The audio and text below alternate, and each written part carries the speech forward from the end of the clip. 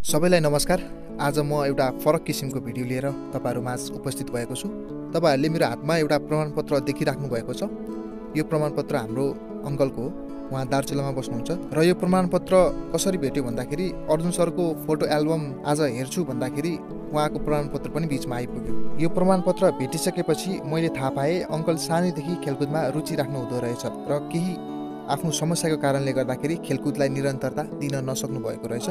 र उहाँको कान्छो छोरो अहिले क्रिकेट खेल्नु हुँदो रहेछ। र उहाँले यस भिडियोमा त्यही क्रिकेट सम्बन्धी धेरै कुराहरू गर्नुभएको छ। सम्पूर्णलाई म रिक्वेस्ट गर्न चाहन्छु यो भिडियो धेरैभन्दा धेरै सेयर गरेर सम्बन्धित व्यक्तिसम्म पुर्याइदिनु होला र अब भिडियो हेर्नतर्फ लागौँ। अन्तर माध्यमिक विद्यालय वीरेन्द्र सिल्ड प्रतियोगितामा श्री गोकुलेश्वर मावि गोकुलेका छात्र उत्तम बहादुर तपाईँको नाम उत्तम बहादुर विष्टले? ए एथलेटिक्स सर्टपुट भनेकै हो। थ्रो ए बल अँ त्यो। लुगाको। अँ लुवाको प्रतियोगितामा सहभागी भए प्रथम। प्रथम। भनेपछि तपाईँ त बलमा हुनुहुँदो रहेछ अङ्कल? त्यही त। ओ माई गड ल यो त यार यस्तो प्रमाणपत्र कहाँ पाउँछ त अहिले? बच्चैदेखि खेलकुदतिर रुचाउने र चासो भएको हुनाले। वीरेन्द्र अहिले जुन बच्चा मेरो कान्छो छोरा क्रिकेटतिर गइरहेछ।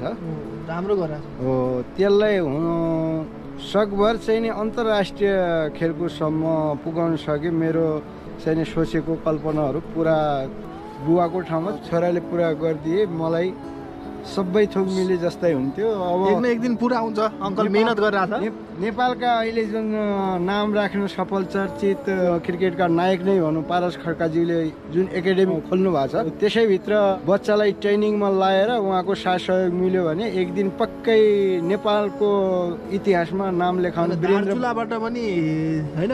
एउटा ट्यालेन्ट छ अङ्कलले म ठ्याक्कै आएँ अब। वीरेन्द्र वीरेन्द्रले पनि अब यो धनगढीदेखि जिल्लासम्म खेलिरहन्छ। बलिङमा ठ्याक्क त्यसको खेल्ने के भन्छन् पोज भन्छन् कि शैली भन्छन् त्यो जस्ट बुमराकै जस्तै छ। बुमराकै नामले उसलाई। चिन्- चिन्छन्। इन्डिया बुमराको साटो नेपाली बुमरा पनि केही वर्षपछि क्रिकेटमा आउँछ कि भन्ने मलाई यसो फिल लागिरहेछ। अहिले चाहिँ नि साढे सत्र पुगे साढे सत्र अहिले अङ्कललाई अनि छोरालाई त्यो क्रिकेट खेलाउनु के गाह्रो अप्ठ्यारो त्यस्तो केही छ त? अप्ठ्यारो त मलाई त्यति अहिले दार्चुलामा हुनुहुन्छ नि त तपाईँ त? अलिकति बुहानीसँगै भएको भए उसले नि अलिकति हौसला मिल्थ्यो।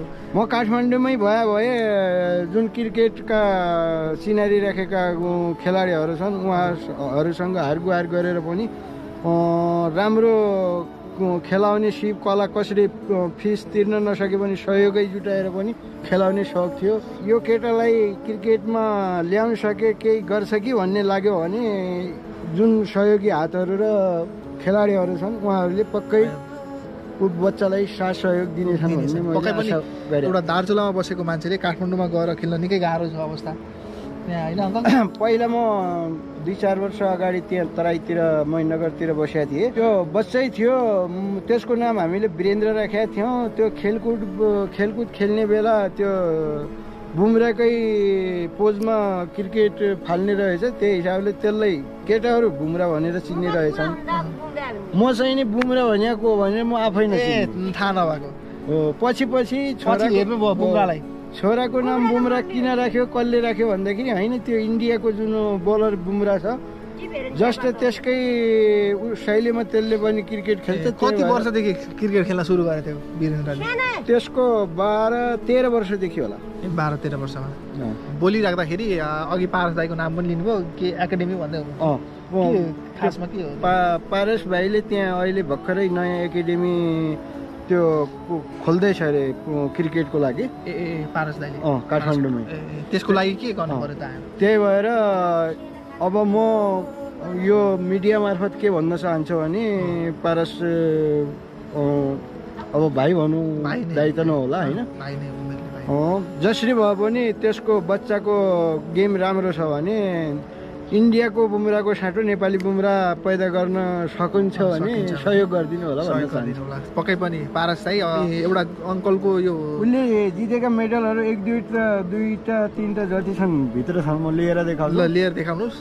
म यहाँ ठ्याक्क भनिरहेको हुन्छु। अनि पारस दाईले क्रिकेट एकाडेमी खोल्नु भएपछि त अङ्कललाई एउटा आश पलाएको जस्तै केही हुन्छ कि अब त्यही मेरो बच्चाको मेरो बच्चाले नि नेपालको झन्डा भएको जर्सी लाएर खेल्छ कि मैदानमा उत्रिन्छ कि भन्ने एउटा हरेक बुवा मम्मीको सपना हुन्छ। अङ्कलको सपना त्यो रहेछ। अनि अहिले मेडल लिन जानु भएको छ। भाइले जितेका केही मेडलहरू छन् रे त्यो हेरौँ के हुन्छ। अनि यस अभियसली यो मेसेज चाहिँ क्रिकेट लभरहरू जो जो हुनुहुन्छ चारैतिर फैलाइदिनु होला। यहाँ ए हो बुमराको नेपाली बुमराको। नेपाली बुमराको। यो केडिसी म्यान अफ द म्याच धनगढीको होइन? अनि यो नि म्यान अफ द म्याच कताको यो नि धनगढी कैलाली ए यो त दुइटा मात्रै यो तपाईँसँग भएको। मसँग उसले उसले कति राखेको पनि होला नि उसले कता राखेको छ? त्यस अङ्कलले यो भाइको क्रिकेट सम्बन्धी त निकै चासो राख्नुहुन्छ। यही सासुलाई सफलताको शिखरमा पुर्याए उनलाई सबैको सहयोग चाहिन्छ। चाहिन्छ भन्ने हो त कतिपय मान्छेहरूलाई ट्यालेन्ट हुन्छ तर कतिपयको ट्यालेन्टहरू देखिएको हुन्न। त्यही अब देख्नको लागि प्लेटफर्म हरेक प्लेटफर्महरू छन् होइन? अब चाहँदा चाहँदा पनि कति कुराहरू पुरा हुन सक्दैनन् समयको कारण परिस्थितिको कारण। अङ्कलकै पनि केही पहिलाको कुरा गर्दाखेरि एउटा सर्टिफिकेट अघि देख्यौँ हामीले। अनि त्यो सर्टिफिकेट देखिसकेपछि खेलकुदमा उहाँको पनि ठुलो सपना थियो। एउटा आफ्नो देशको झन्डा लिएर अब ओलम्पिकै नभए पनि राष्ट्रिय अन्तर्राष्ट्रिय हिसाबले खेल्ने अनि पछि कोच गर्ने। भनेर अङ्कलले भनिराख्नु भएको थियो। अनि उहाँको जुन सपना पुरा गर्न नसकेको सपना चाहिँ मेरो छोराले कान्छो छोरोले क्रिकेट मार्फत पुरा गर्छ कि भन्ने उहाँको अझै पनि ठुलो आशा र विश्वास छ। अङ्कल?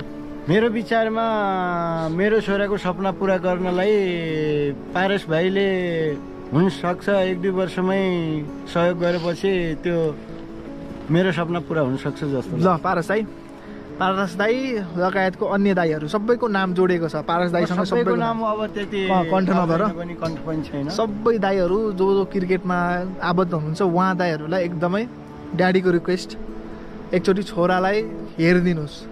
अनि राम्रो लाग्छ भने हात समातेर अगाडि बढाइदिने काम गरिदिनु होला त्यही भन्न चाहन्छु। छोराले उत्कृष्ट पुरस्कार पाएको दिन म त्यो उसलाई सहयोग गर्ने टिमहरूलाई सम्मान गर्न म काठमाडौँ नै आउने छु भन्ने ल दार्चुलाबाट यो मेसेज सिधै नेपाल क्रिकेटको लागि सम्पूर्ण नेपाल क्रिकेटको लागि। होइन त ल बाई बाई।